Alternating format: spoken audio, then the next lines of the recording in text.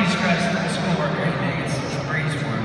Um, but you know, luckily for me, I came in a position where I can take care of his college. I can, I can pay his tuition.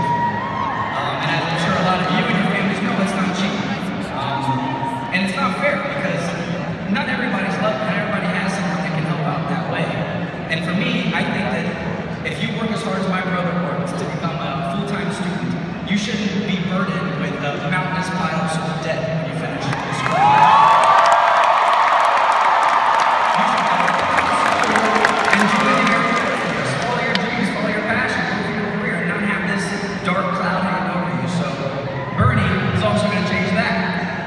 Know you guys probably appreciate, especially.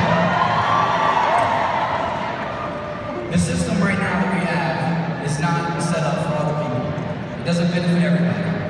And I think that we can agree that's everything from skyrocketing medical costs, underpayment for work, crumbling infrastructure, ridiculous amounts of student debt, uh, and don't I can't even get started about campaign finance and the legally illegal banking system. I don't understand all that.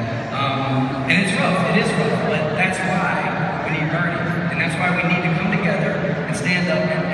fight for this one-of-a-kind candidate.